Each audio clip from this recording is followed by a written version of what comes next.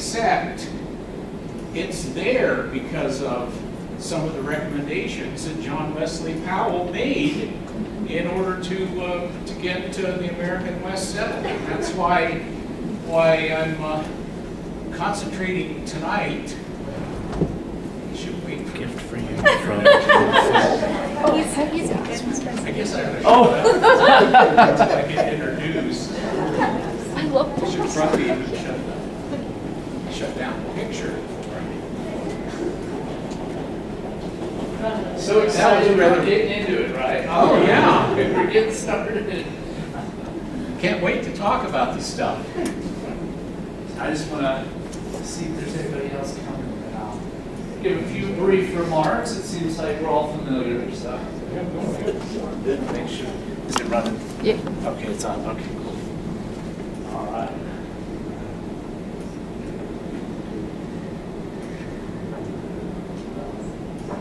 Okay.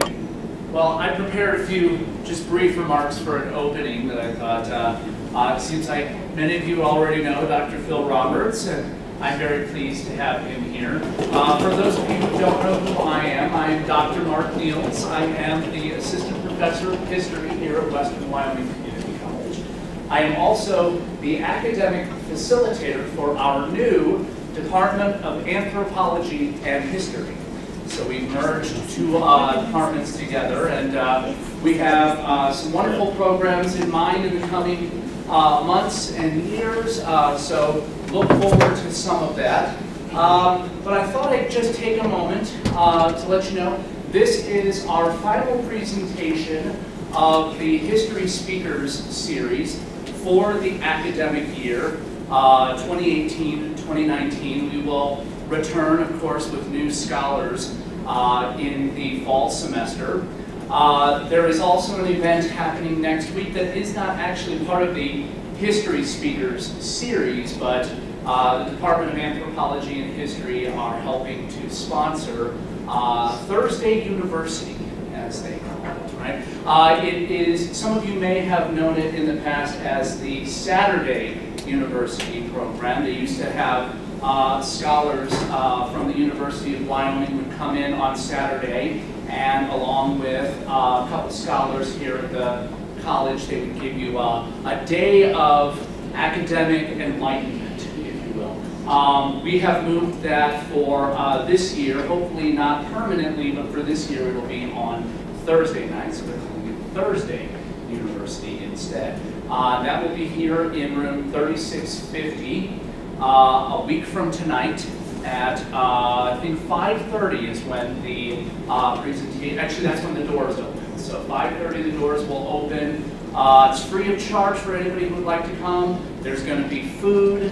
Uh, come and have a nice dinner and a nice evening of academic enlightenment. Uh, I think it should be uh, pretty fun. There's a few really fun um, presentations lined up for that. So look forward to that, but our History Speaker series will come back in uh, the fall semester. Um, uh, so, uh, in closing out the uh, semester, I thought it would be a wonderful treat to have Dr. Roberts come and talk about a local legend, if you will, uh, John Wesley Powell's Arid Lands Report and the importance of that to uh, the American West. It fits right in with our mission with the History Speakers Series, which is to bring in uh, scholars to speak on uh, issues that are prevalent to the cities of Rock Springs and Green River, uh, as well as uh, the great state of Wyoming and more broadly the American West. And I can of nobody better to do that. But for those of you who aren't familiar with Dr. Roberts, I've got a small introduction for, for you, if I may.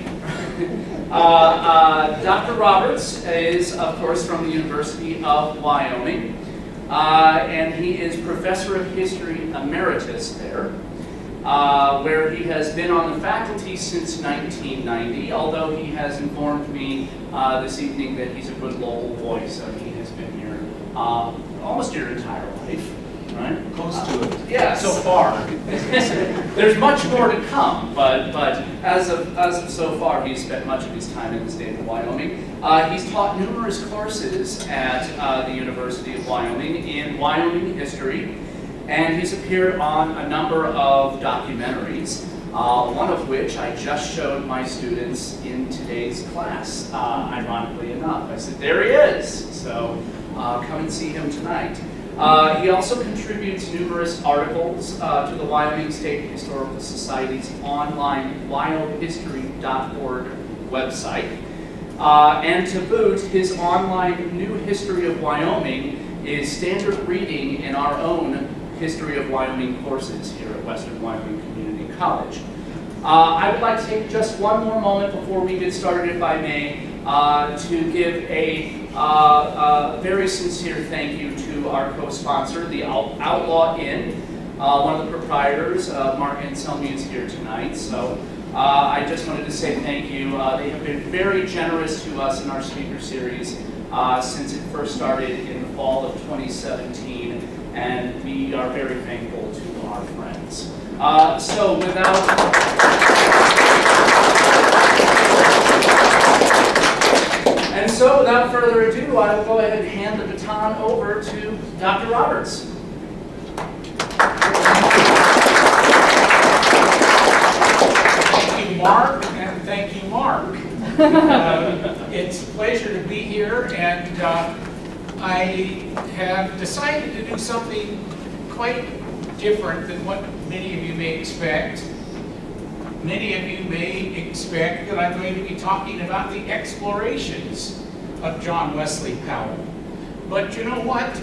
You all probably know more about it than I do because you're right here where it all began, just down the road here at Green River at the, uh, as the, uh, the Emma Dean and the other boats headed out down the, uh, down the Colorado, the Green Colorado River to, uh, that big, those, uh, exciting things. But what I want to talk about is an aspect of John Wesley Powell that sometimes is forgotten and that is his importance in actually setting the, the stage for development of the land and the water of the American West from the time he submitted this very influential report in 1878 to the Congress and uh, up until the time of, of his death, he uh, met with a good deal of opposition from people who didn't agree with a lot of the things that he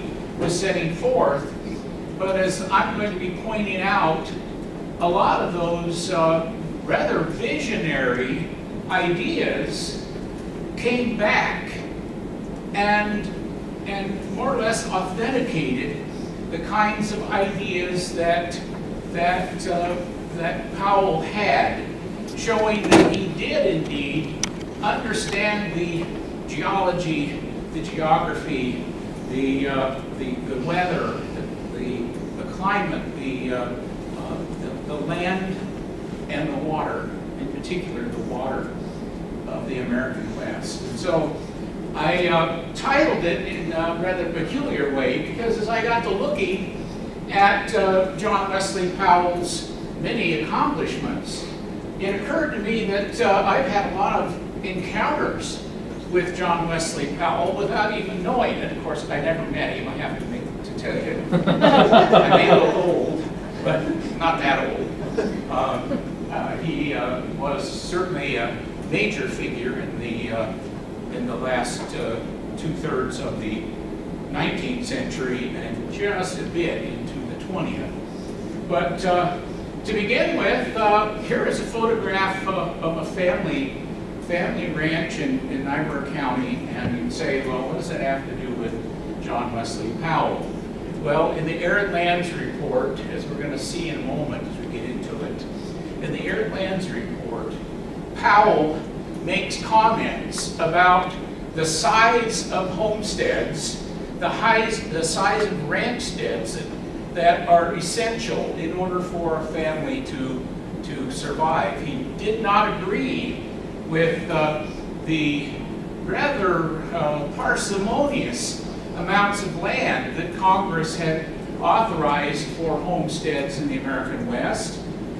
Uh, 600, 104, uh, 160 acres might work in a place like Iowa, eastern South Dakota, eastern Nebraska, but you get out here in, uh, in the American West, and 160 acres isn't enough to, uh, well, you might be able to keep one cow and calf alive for part of the year on that. But uh, as Powell pointed out, those land areas were far too small for uh, any kind of uh, successful agricultural operation, whether it be ranch or uh, farm. And, uh, and therefore he advocated that the, the amount of land be increased substantially. Further, Powell pointed out something that would seem to be obvious to us in the 21st century, and that is you can't very well take uh, 2,640 acres and, uh, and square it off and put it in the middle of nowhere without any access to water. And so one of his, uh, his uh, uh, criteria for setting up a successful ranch or farm operation was that the land not be divided up in traditional township range sections, squared off, but instead it, it is uh, it is was his idea that these areas ought to follow these water courses, and uh, and you can see just by by those two two uh, suggestions that he's making in the arid lands report, where he's going to get a good deal of pushback, because a lot of people in uh, less arid areas would say you're creating an empire for, for individuals by giving them over 2,500 acres of land. And you're, you're letting them monopolize a river course by running the, the water, running the land along the, the water course. And, uh, and as we'll soon see, it turned out that uh, Powell's, Powell's recommendation was prophetic in some interesting ways, and one has to do with uh, the average size of a ranch or farm in 21st century Wyoming. Anybody care to guess what that average size is? Try 2,500 acres, give or take. That's uh, the size that uh, John Wesley Powell advocated. So anyway, there's my first encounter with, uh, with John Wesley Powell. And my second encounter with John Wesley Powell was when we moved to the town of Torrington in Goshen County. And I suppose there are a few people here at the Torrington. Probably not very many, because it's kind of like off the beaten path out in this direction. But Torrington was uh, was largely established because of the fact that uh, they were able to construct a canal, the interstate canal, that would bring water to uh, the very uh, the very dry area there in, in uh, along the lower North Platte uh, Valley. But uh, it was an area where where up until about 1906, there wasn't much of anything except some, some open range cattle operations, but in came the interstate canal. And the, um, the citizens of Torrington and the area were so thankful for the federal government's help in giving money to build this interstate canal that uh, they looked to our uh, rather, well, he's a pretty controversial figure, our Senator Francis E. Warren, and they thought Warren was, he was just it. He was really a great guy because he used all the uh, influence he had in the Congress to get this interstate canal built. And they were so thankful that they even petitioned the Wyoming legislature to establish a county and name it Warren County. Well, the governor at the time was a guy by the name of Joseph M. Carey, who, of course, hated Warren. They were they've been enemies for, for by then 15 years at least. And Carey would have none of it. And so the Torrington people said, well, we'll just create a county right next to it, and we'll call it Carey County. How's that? Carey said, nope, I'm not going to do that. I'm not going to play that game. And so they settled on Goshen for rather than Warren County, and Platte rather than Carey County. And uh, there you have the little bit of trivia you really didn't come here to hear about uh, concerning Wyoming, concerning Wyoming place names. But that was the second location of my encounter with uh, John Wesley Powell. And then uh, a third occurred when I was uh, living in the Bighorn Basin, going to school in Worland. Again, uh, an irrigation project town that uh, came about as a result of uh, a uh, state-private partnership. Uh, the Hanover Canal Company that was organized to, to irrigate the lands around Worland, primarily for sugar beet growing in the, in the second decade of the, uh, of the 20th century. And then after that, I was in Cody where the, the the uh, actually the the either the best example or worst example of what happens with uh, federal money being shoveled out to a uh, private uh, operation, one operated by a fellow many of you will will recognize, uh, Buffalo Bill Cody, and his Shoshone irrigation project that uh, put together this tract of land along the Stinking Water River and along the banks of the mighty Stinking Water they were going to establish this, this rather huge dam and irrigation works. Uh, uh, they, after the, the turn of the 20th century, they petitioned the legislature to change the name Stinking Water to Shoshone River. I can't imagine why they would want to change. I mean, it's so picturesque to have a river running through your town called Stinking Water. It just, it just seems like, seems like it's, they lost some color by, by changing the name. But anyway, for whatever reason they did that, the uh, irrigation project didn't do well. And in fact, the uh, federal government ended up rescuing the Shoshone irrigation project and uh, the Bureau of Reclamation that came about as uh, soon after, uh, was started soon after the death of, of uh, John Wesley Powell. The, the Shoshone irrigation project was taken over by the U.S. Bureau of Reclamation and uh, Buffalo Bill Dam, was then known as the Shoshone Dam, was uh, the first completed project that the uh, U.S. Bureau of Reclamation had taken on. They had done, they did other projects in Arizona and elsewhere, but this was one they took, they took on and pretty much rescued it. So there's my next encounter with John Wesley Powell. And then, uh, and then uh, after I graduated from high school in Cody, I went over 23 miles to Northwest College in Powell. Gee, I just keep running into the guy all over the place. And of course, Powell was founded and named for John Wesley Powell, even though he'd never been there.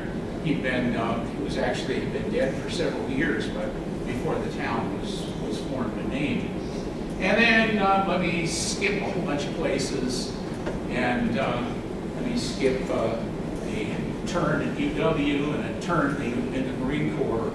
And, uh, and I ended up the editor of a newspaper in a town called Page, Arizona. And the name of the newspaper was the Lake Powell Chronicle. And it was built right next to the Glen Canyon Dam. And in fact, the town had been the product of the, uh, of the Bureau of Reclamation. It was a, it had been a company town. Uh, in fact, when I was there, it was still under the, the ownership and management and control of the Bureau of Reclamation. And so, so see, I just, I just couldn't shake John Wesley Powell. And so, and so then there's another encounter with him when, when uh, Mark asked me to come out and, and talk to you all about John Wesley Powell. See, it just, it just kind of follows me around. but let me get going here and we'll talk about oops. I didn't read it. Uh, just to assure the board that I didn't. Uh. Uh, Powell's, uh, here is a, the classic photograph of John Wesley Powell.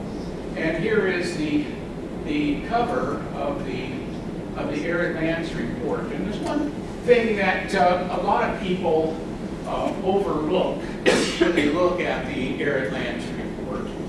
And that is that it was not unique for its time with respect to surveys being done by scientists in the American West. This was uh, the heyday of, uh, of scientific explorations in the American West. Here's a um, here's a, a, a couple of let me let me jump ahead. There it is. The uh, the uh, same year, here is uh, H.S. Scudder, who is uh, with the Hayden expedition, and he's doing uh, this uh, account of insects within tertiary rocks. And here is, a, again, a very pioneering sort of study that was being done in the American West in this period. And so it was a, a, a period that was alive with scientific activity, exploration, and uh, new approaches to the, the, uh, the flora and fauna and natural surroundings of the American West. Now let me get back. Because what I'm going to try to do tonight in the few minutes that are remaining is to, uh, along with you all, analyze the text and note the significance of the um, Arid Lands Report to the development of the American West, and then see if we can apply some principles to present-day issues that, uh, that surround us to this very day. I had to actually change this this afternoon because I had read an account in the paper this morning about the, the, uh, the commissioners of the Colorado River Compact making some pretty dramatic uh, changes evidently. I haven't seen the, uh, the, the text of what they've done, but, but uh, pretty dramatic changes in um, allocation of water among all the lower basin states and uh, uh, lower basin states being, uh, being California, Nevada, and Arizona, along with uh, those, those also uh, compromises being made by the upper basin states of Utah, New Mexico, Colorado, and, and Wyoming. Because the flow of the Colorado River has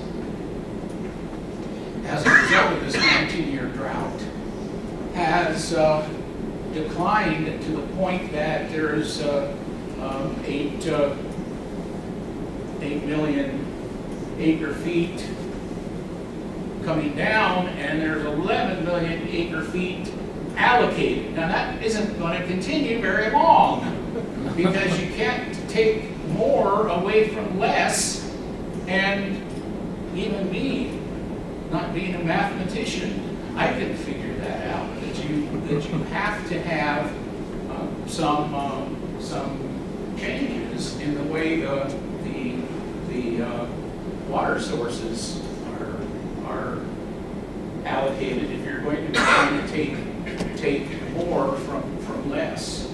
And so, uh, so here we are essentially in a, in a really important crossroads in the allocation of water in the West and applying some of those principles that John Wesley Powell introduced us to way back in the late 1870s.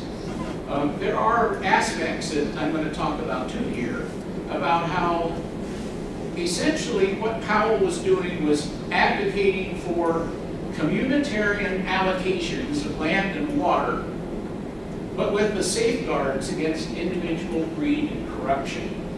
And uh, in many respects, he is a product of his time.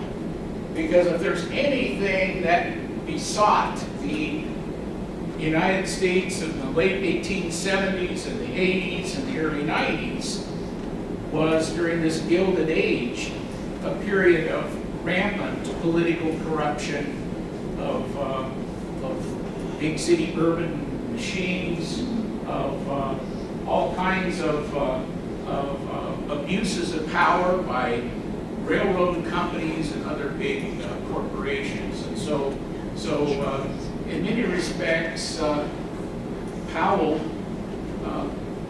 throws in his his um, his chits with the the opponents of those uh, those Gilded Age uh, transgressors, and uh, a lot of what's in the Arid Lands report represents his sensitivities to individual greed and corruption, and recognizing that if any system is to rise, is to, is to fail, one way it's going to fail, for sure, is if uh, there aren't allowances taken to uh, minimize greed and corruption.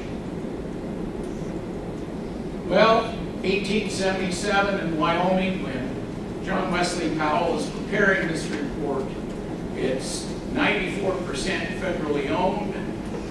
It's 5% uh, owned by the Union Pacific Railroad, and you all, being here in Rock Springs, will will readily recognize that those are those those checkerboard sections, that 400 foot strip that goes clear across the country, but also those so-called checkerboard sections, 20 miles either side of the track that the railroad company was awarded by the federal government in exchange for, for building this railroad.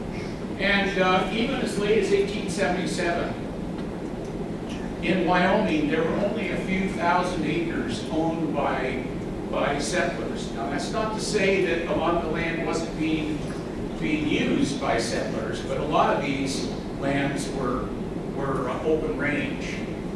And large cattle companies were, were uh, roaming herds across vast stretches of Wyoming. Now, of course, there were lots of people who uh, wanted to uh, transfer a lot of that federal land into private hands. And uh, as a result of some, uh, some manipulations of some of the later Homestead Acts, that did happen to a degree in Wyoming.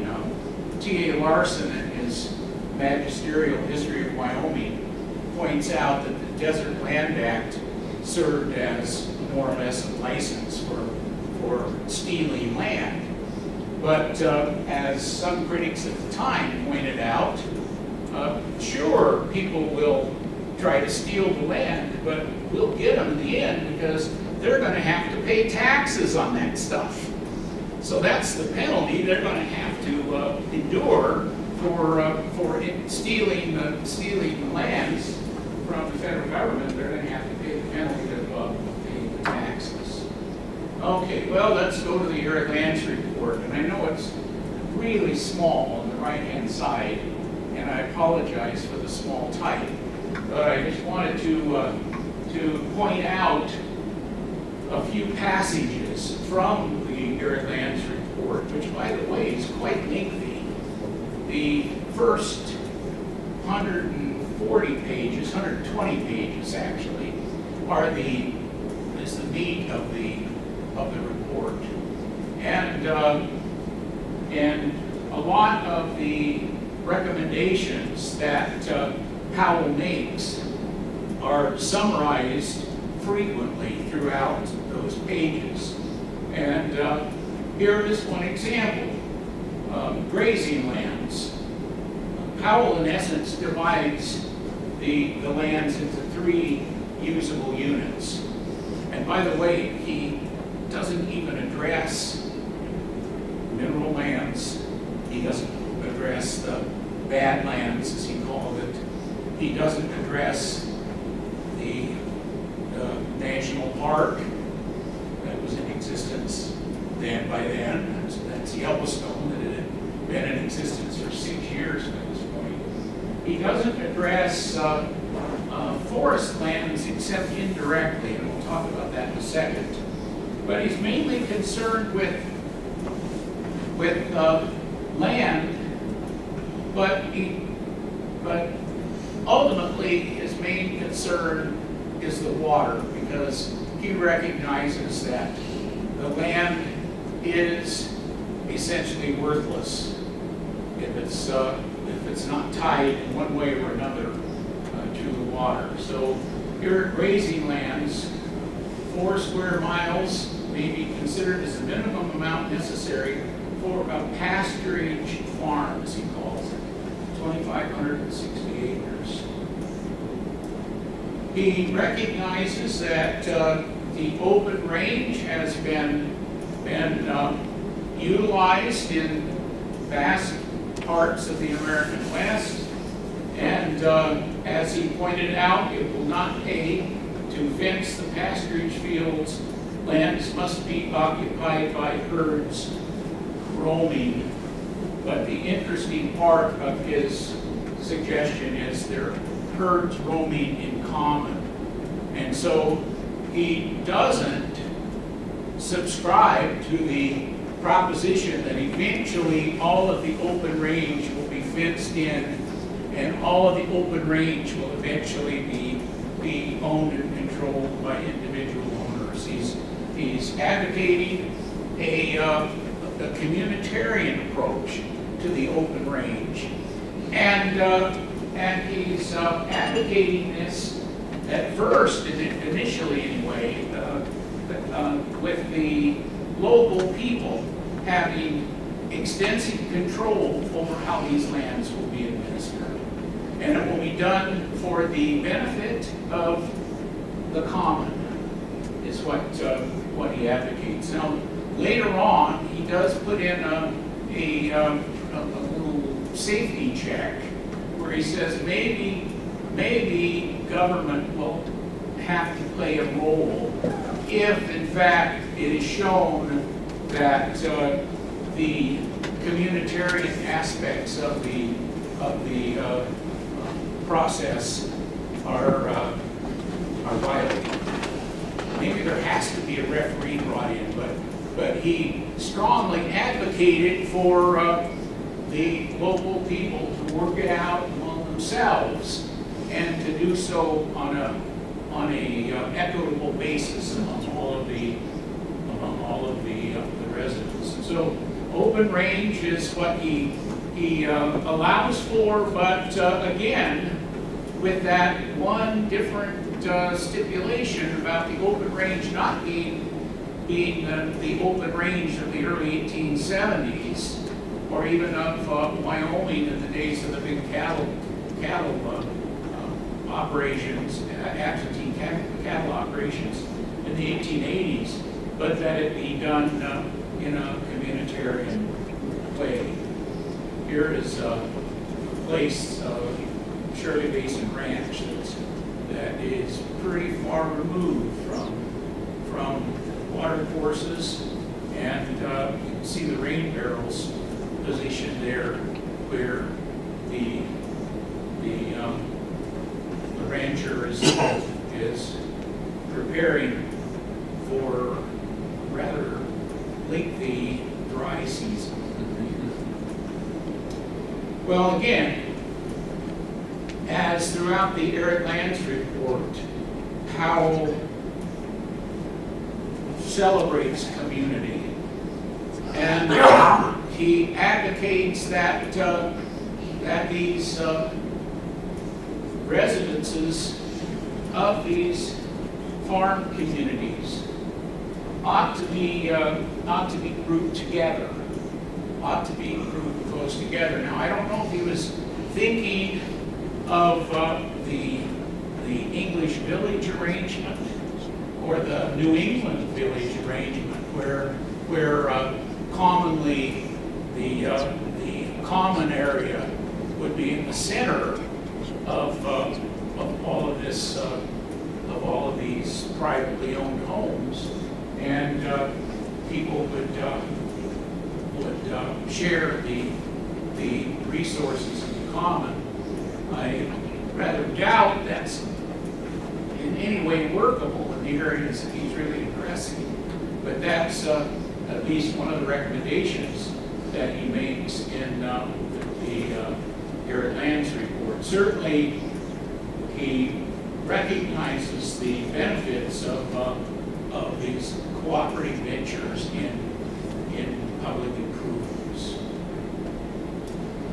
Forest timber, he separates out from these other lands. And uh, he, in essence, says ranchers and farmers really don't understand how to take care of trees.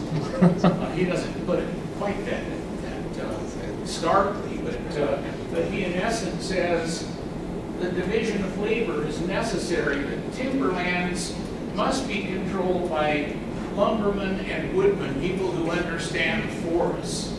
And, uh, and it's in this area where, where uh, some of uh, Powell's preconceived ideas in the course of traveling the West comes to the fore. One of those has to do with, uh, with um, these, uh, these colonies that he advocates be established and uh, that uh, quote customs are uh, are forming and regularities are being made by common consent among the people in some districts already. So he says maybe we don't have to do a lot to direct through legislation how these particular places are going to be, but but uh, but as he states here, it ought to be possible for a poor person without any, any um, means at all to be able to still come out to the, to the west and, uh, and be able to make a, make a life for himself and a family. And uh, the, the uh, suggestion is made that uh, this is to continue. And here is one of those assumptions that we might call into question nowadays because the assumption is that, in essence, these lands are boundless. And uh, they're never going to fill up because there's just too much of it. And so forever it will be this, this quote, safety valve that another historian, Frederick Jackson Turner, um, utilized in some of his writings years later, of, uh, of where the poor people of the cities and those coming in from, from elsewhere will be able to come out and, uh, and make a living for him or herself out on the, uh, out in the, in the vast ranges of the American West. Well, um, um, dividing up the land, here again, I'm not going to go into detail again, I've already mentioned it. He is, uh, in essence, advocating for this this uh, division of lands along river courses. And he argues that uh, why should this not be uh, familiar to Americans? Because that's how we've been uh, handling mining, particularly in California, since the late 1840s, early 1850s. That uh, you uh, mine along the vein and you claim the, the land regardless of how the vein meanders. The person who uh, is uh, the first to strike that vein and to follow its course uh, has uh, the right to that claim, whether it look like a, a rattlesnake or a circle. The, uh, the, the process should be applied equally to, to land with water courses on it. Why can't you use the tools of surveying to uh, be able to, uh, to determine boundaries based on, uh, based on water courses? Well, he's, uh, I love this picture, by the way. These are three, three dudes in Wyoming. Um, uh, One of them being uh, a grandfather of a certain person standing before you, and uh, one of the others being his brother. And uh, boy, these guys would be, we come near cowboys, three, uh, three uh, Nebraskans coming over from Fort Robinson into eastern Wyoming. And by golly, they're just gonna show the cowboys how, how things are done. You know. But anyway, uh, he is, uh, again, talking about uh, the certainty of surveys. He had a fundamental trust in numbers and in surveys and in scientific principles. And that's one thing that uh, makes him pretty uh, standard for explorers and, uh, and uh, um, people writing reports in that era, is that there was a, a tremendous faith in the ability of science to get it right. And all you had to do is to apply some of these mathematical principles, a lot of these survey principles, and uh, and eventually it will you'll get it right. You won't, it won't be uh, it won't be a, a disorganized disorganized mayhem out there in the, in the wilds of the West. In fact, uh, it will be very orderly because of the ability of surveyors to put some order onto the chaos of the lands. Well, um, I'm not going to go into land acts because that's outside the purview of what I'm here to talk about. But uh, I just want to recognize the fact that land acts had been in uh, existence since, um, the, indeed, the days of the American Revolution. One of the very earliest of the land acts, as many of you know, was um, awarding soldiers' script to uh, soldiers fighting in, in America's wars. That rather than uh, the GI Bill for education, like some of us got as a result of a certain uh, period in history in the 1960s and 70s, the soldiers of the Revolutionary period and well into the to the uh, 19th century were awarded pieces of script. And those pieces of script that they would get on their discharge from service, they could then take to a land office someplace and trade it in for whatever land they wanted.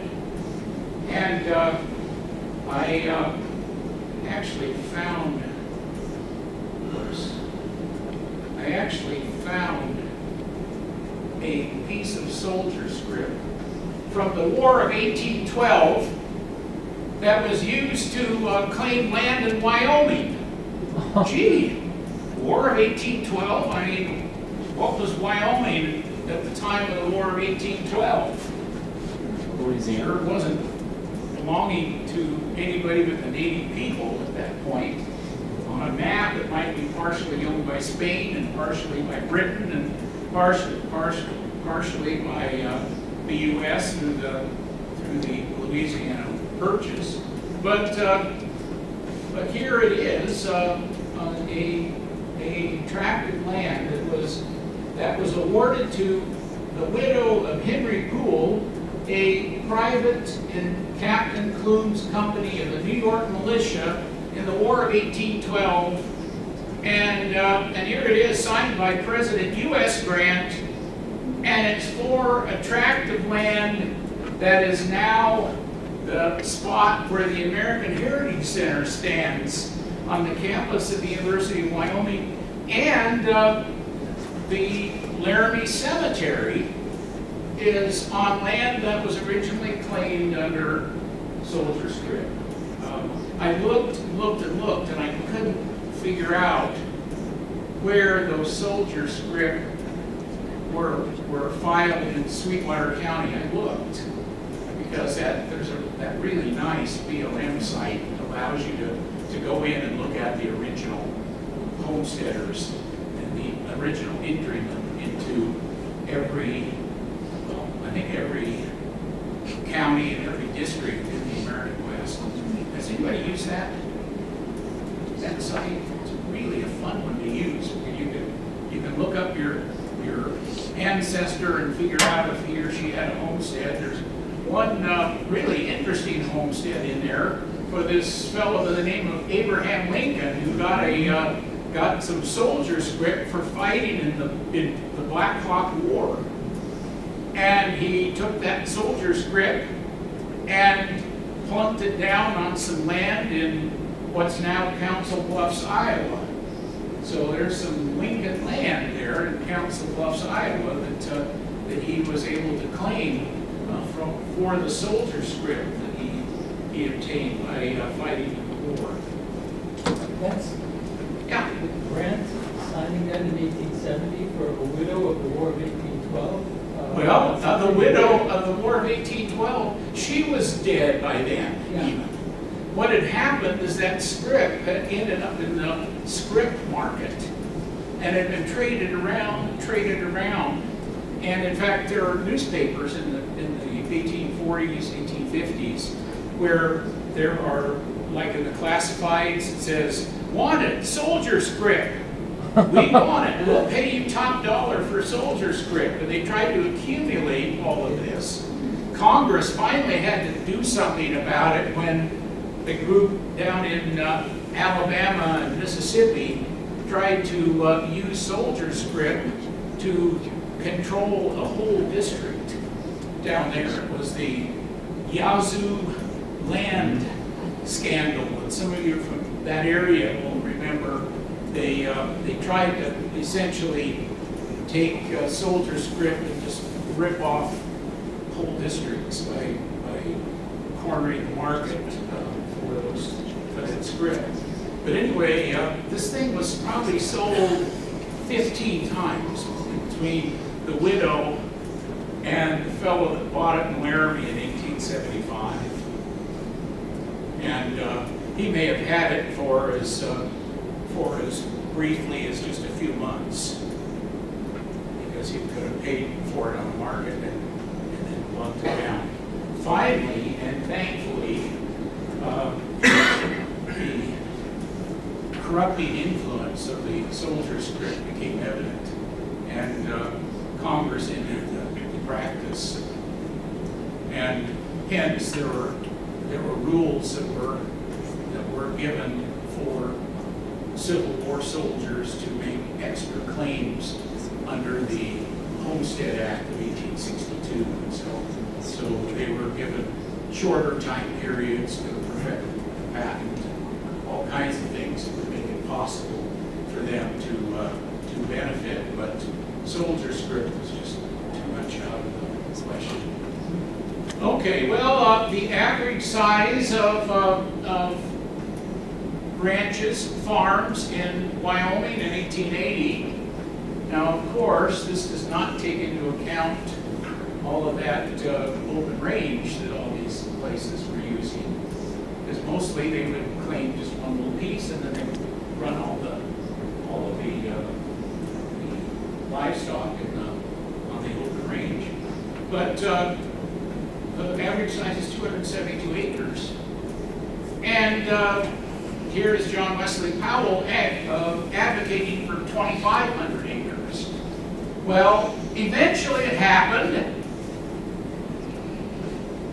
in 2010. He had to have waited a while for it to occur, but uh, the average size of uh, the 11,000 ranches and farms in Wyoming is uh, now in excess of 2,700 acres. Okay, a couple of quick things about Powell.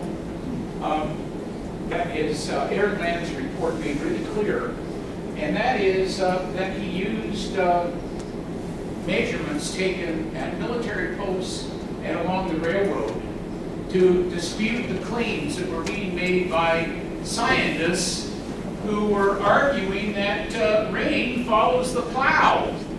Why, all you have to do, folks, is to, uh, is to buy this land that looks really awful right now, but once you plow it, rain will start falling because when you, when you release the precipitation, the moisture out of the, the virgin soil, suddenly rain falls on that location.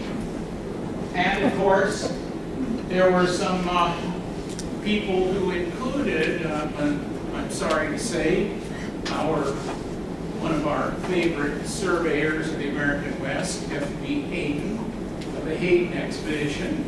Hayden went to work later in life for a railroad company and actually advocated that rain indeed follows the rails.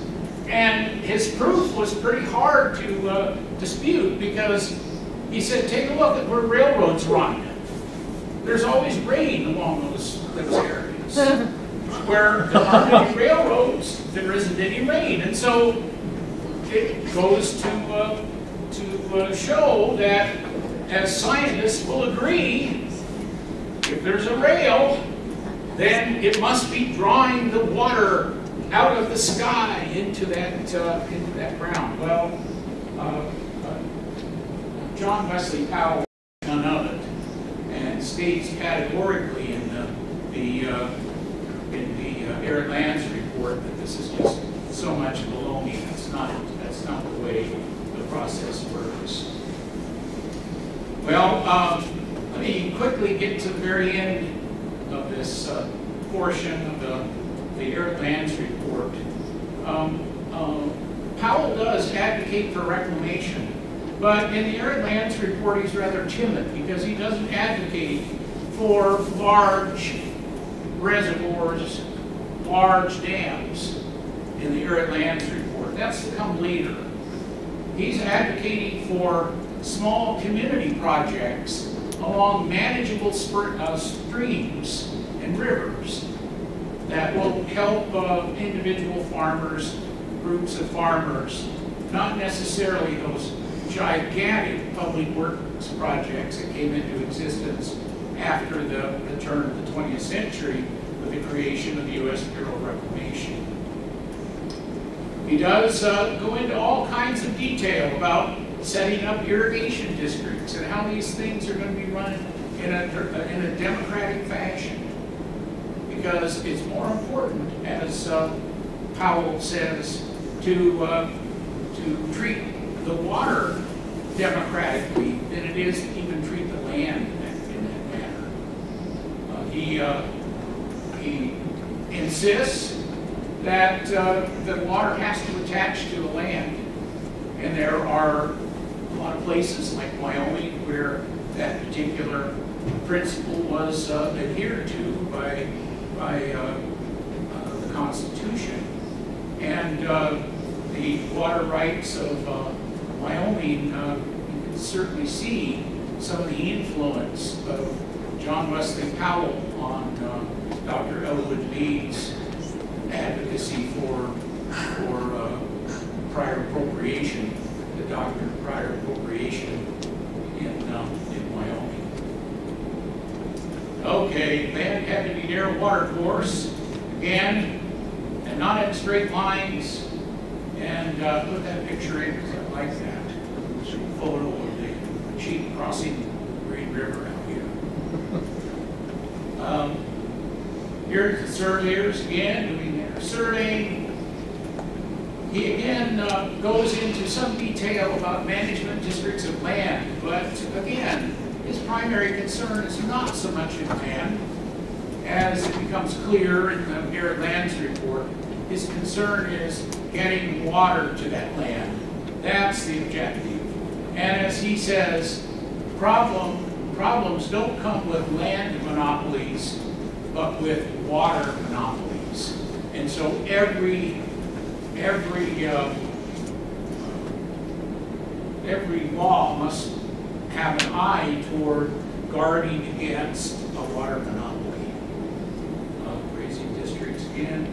Uh, avoiding corruption, again, throughout. He talks about uh, the corruption coming from government surveyors and land people that are affiliated with the federal government because it was common practice in those days for a political party to take power, fire everybody who is involved in the land office from the old political party, bring in their own, and uh, then their own would plunder the public domain for four years, and then the parties would change, and then another batch of scoundrels would replace the earlier ones. So he's, uh, he's urging that uh, a uh, form be set up so that the individuals will be paid, paid by salary, not by contract, and thus every means possible should be used to keep land policy and water policy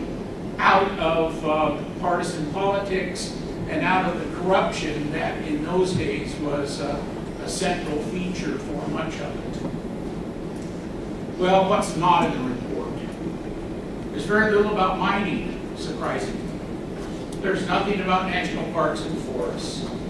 There's an assumption that certain lands, bad lands, are, quote, useless and irredeemable.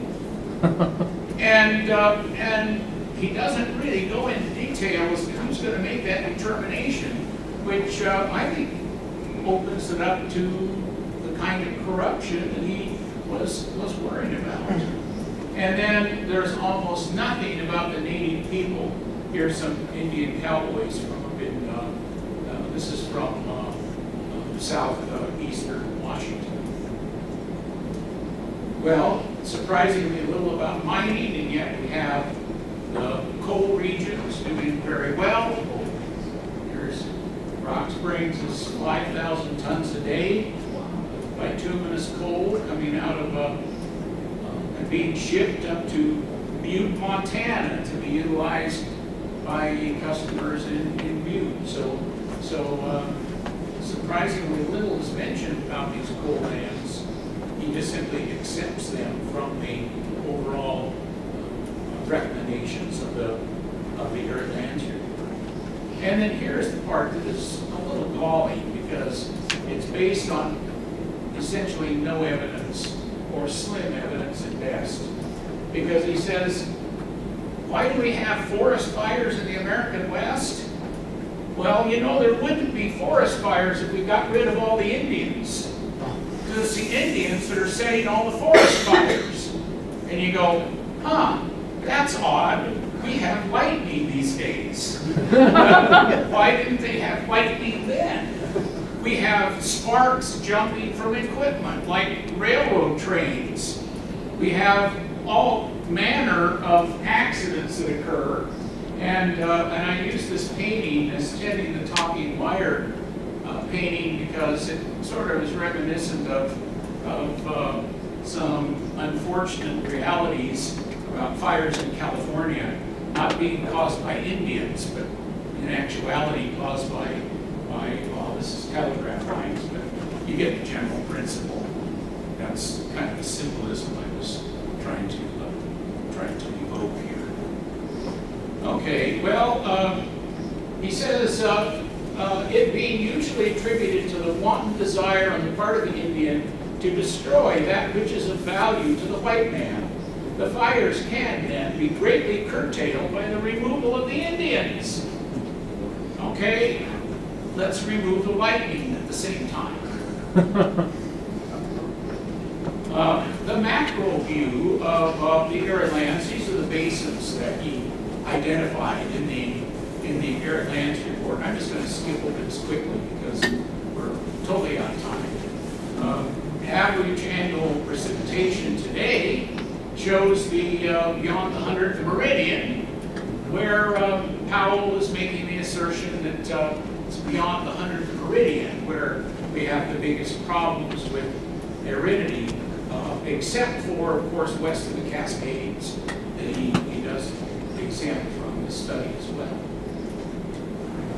The irrigation projects, uh, here is the Powell Post Office, the Powell Post Office. Um, Here are the massive dam projects that, that uh, it may be that Powell might have anticipated these, but as a, a general visionary, I don't find it in the arid lands report that he's advocating for these massive dam projects. Here's a, I think I'll just end with this one. This is a photograph of Page, Arizona from the air that was commissioned by the editor of the Lake Powell Chronicle in uh, 1972. And, uh, and uh, you can see there, this is a town that was founded in 1957. And it was, here is the, here is the Dam, there's the bridge, there's the town of Page, and here is the, the beginnings of, 2000 is behind, uh, behind Japan. So um, not a lot of trees, still not a lot of trees, but uh, again, um, a place that's there largely because of at least the, the spirit of John Wesley Powell and uh, whether it's being properly channeled at this particular time in these big massive projects or not,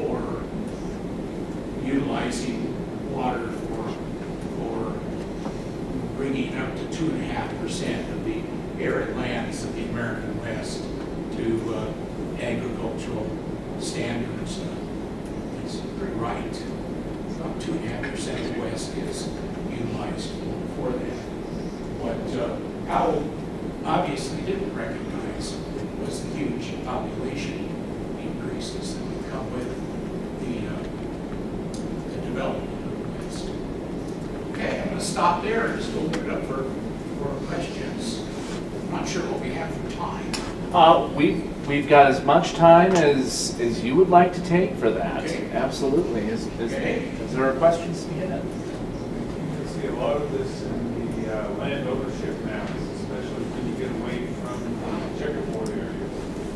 Where there's water, there's homesteaded, there's private land. When there was not water, it's BLM. That's right. One thing that I've observed is that, uh, is that a lot of what Powell was advocating really didn't hit the public consciousness until about the time of the Dust Bowl and the aftermath of the Dust Bowl. And one uh, organization that I often point to as trying to make up for the failures of not following John Wesley Powell's advocacy for, for rivers next to land is the, uh, the, uh, uh, the RA. The, the, uh, REA? no, RA, uh, the Resettlement Administration. It was a very short-lived New Deal project that was designed to save Western bankers. And it saved a lot of Wyoming bankers. Because what they did was to declare that these lands that had been mortgaged to banks were essentially unlivable because they weren't close enough to water, they could never be productive, and it would be to the, to the benefit of everybody concerned. The, the supposed farmer could be relieved of the responsibility for paying off a loan on land that couldn't ever come to fruition. The banker would be saved because how was he to know that this land after a drought was totally worthless? And, uh, and so the resettlement, resettlement administration uh, in Wyoming, the best example of the resettlement administration is the Thunder Basin National Grassland up in uh, Campbell, Converse, Weston, Niobrara County, up in that area, where those vast stretches of lands had once been homesteads. And they had had actual homestead communities there that were just simply, simply just uh, completely destroyed by drought. And so the best way the federal government saw in the uh, resettlement administration, which by the way only lasted, I think it lasted three years. But the theory was to rescue everybody concerned and then turn those lands into conservation lands, like the uh, Thunder Basin National Grassland is. So, so uh, there were, were efforts like that that were, were uh, put into place because we recognize this, this, these problems. Yes? Can you summarize for us what happens when he releases this idealistic communitarian against the grain report to Congress? You know, he's got this vision. What, Okay, he, rele- he releases the report. He has been celebrated in the country for his great explorations. And so everybody says, hey, this guy needs to be taken seriously because look at the wonders that he did going down the Colorado River and the Grand Canyon and all of that twice. Why, why, uh, uh, we've got to listen to this guy. And indeed, one could say that the Arid Lands Report represents the high water mark of respect for Powell on the part of, of uh, members of Congress and, uh, I hate, I don't like to use the term, but, but the so-called Chamber of Commerce uh, people in the American West that were, that were really um, unhappy with the fact that this report might actually be um, heard by people, and they might pay attention, and they might not come out, and they might not want to take out a, a uh, 320 acre homestead and see if they can make a go of it.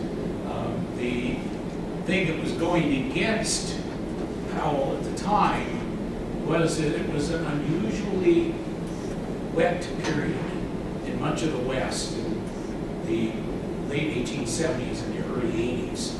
And uh, the drought didn't really kick in in lots of places until 1886 in Wyoming and, uh, and a bit later in some of the other districts in the West. And so, so at the very beginning, people just sort of, sort of uh, brushed it off and said, well, this is just, this is just a way that Powell is advocating for big ranchers to come out and dominate the water and dominate the land by giving one person 2,500 acres and all the water all along the water course. Why, that's just absurd, people argue. So, uh, It's a little bit like, um, I've um, often told this story back about 10 years ago when we were seven or eight years into our current drought.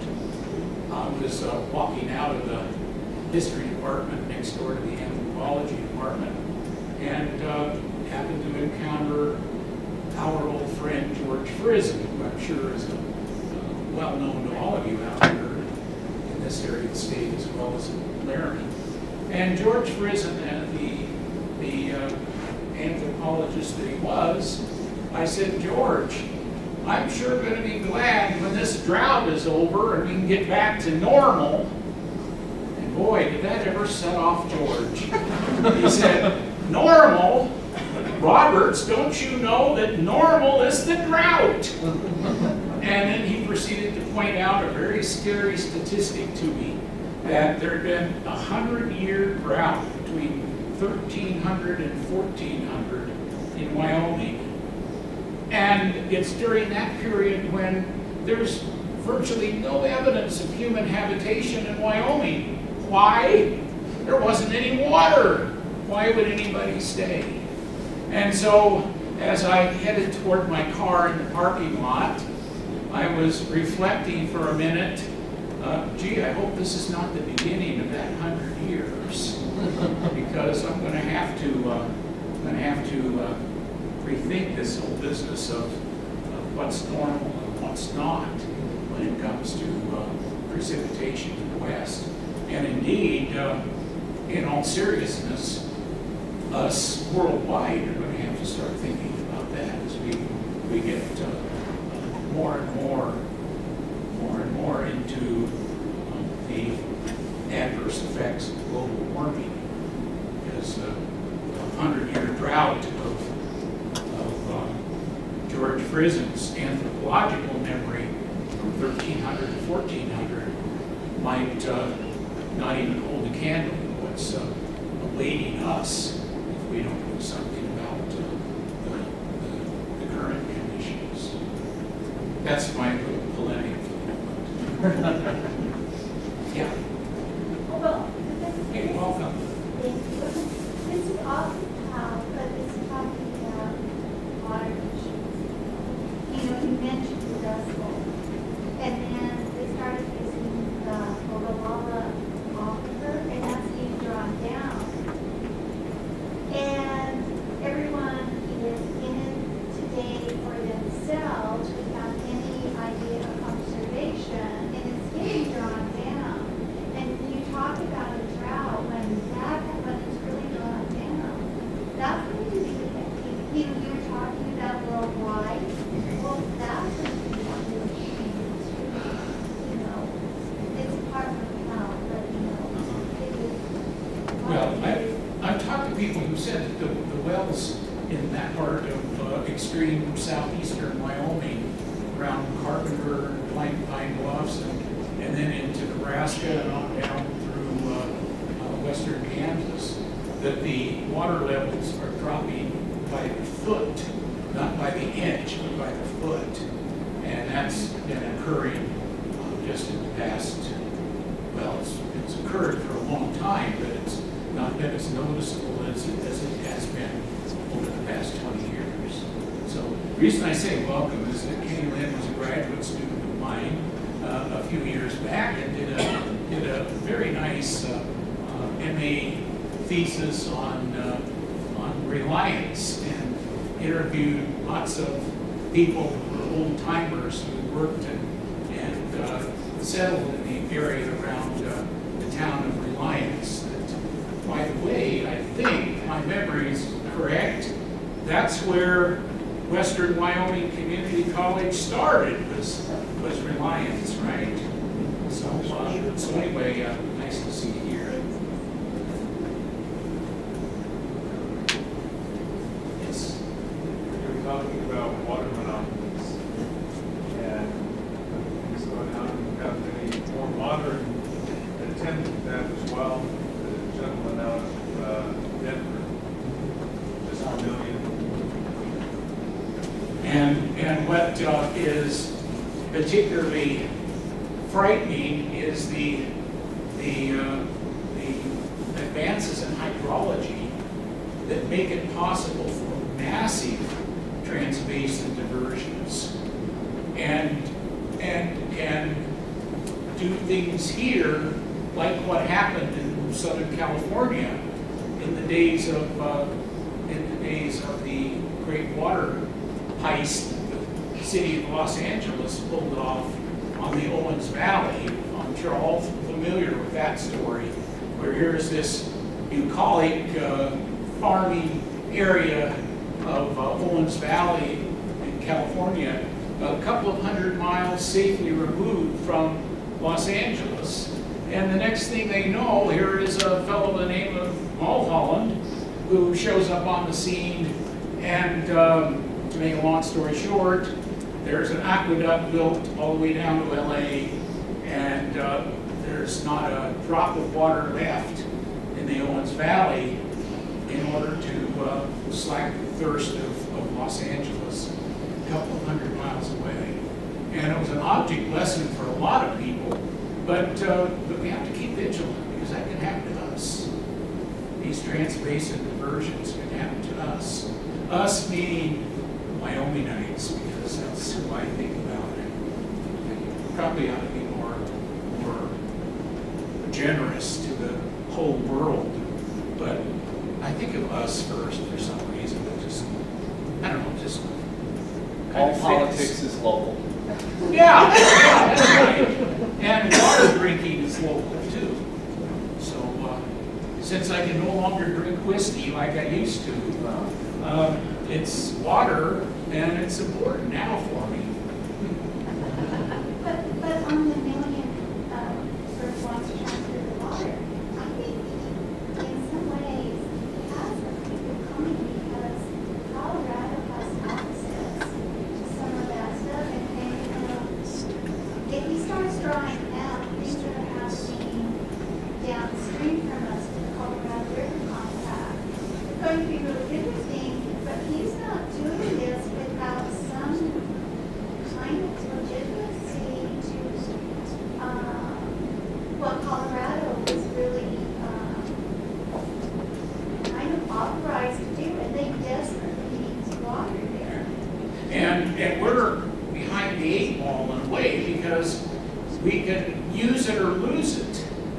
And, uh, and of course, as, as some of you have been following the news over the past few days, the, uh, with those commissioners doing, making lots of adjustments to the, to the uh, Colorado River Compact allocations, uh, we just might be on, uh, on very, very thin ground at the moment. And uh, the, um, the fact is that we, in 1922, 23, our water commissioner, our, our water engineer did a pretty good job of negotiating our rights in the, uh, in the Colorado, Green, Green Colorado River system. A lot of people say, oh man, we were really shafted. We only got seven and a half percent of the flow of the Green Colorado River. Just a measly seven and a half percent. Boy, that was a crappy job. And of course, uh, that's fifteen percent of the allocation of the, of the upper basin states.